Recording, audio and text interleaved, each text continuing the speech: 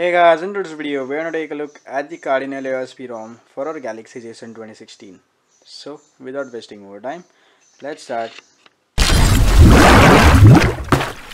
So guys, starting with the home screen, we get the Pixel 2 launcher and we also have some customizations for it. You can see the home screen, the app drawer, the columns and rows, the icons, app icons, the widget and you can customize the app uh, at a glance widget. You can see you can also apply icon packs. I have applied the normal Iris pack, this is a free one. So I will use system default now and you can see the icons are now system default.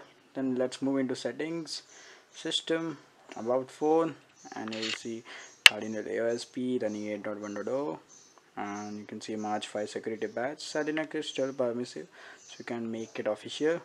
Then moving into the the wings which is a customization tab. Into general we get expand desktop icon plug various various other things. Sensor block per package.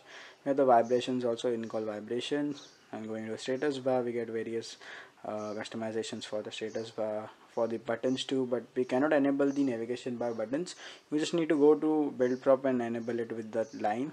And then we have the second power menu and all the lock screen stuff. We have the recent tabs also you can customize.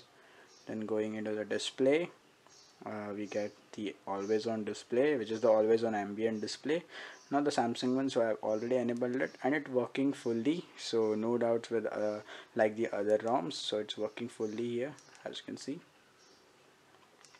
It fully works so even if you do anything if you reboot device it works really. And you can also set the display size to normal medium small largest so whatever you want.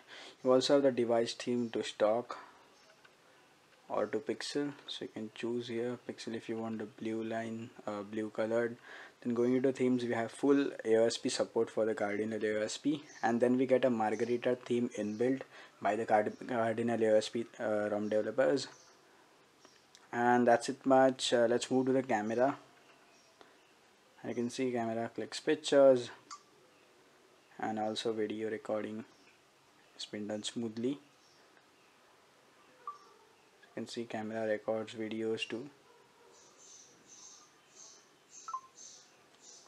And let's move to the front now. So front uh, let's take a picture okay video recording. So the video recording is working in the front as you can see. And let's try to click a picture now with the front camera. Let's move to the front. Let's take a picture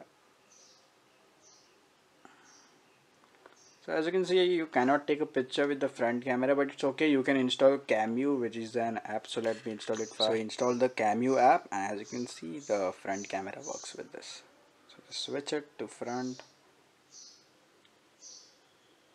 and it takes a picture. So this is how you can use a front camera. So you need to use a third party camera for that. And you also get this equalizer. So this is different than the audio effects and guys that's it for the video. You get really awesome apps like the lightning the equalizer and what else? You can check it out after installing this uh, ROM on your J7 2016 and that's it guys for the video. If you guys like this video press the like button. If not then the dislike button. And also the subscribe button if you want to watch more videos on J7 2016 and other devices.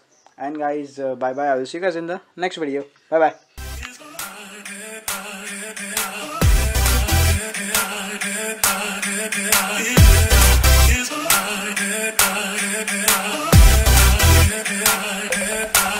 It's alright.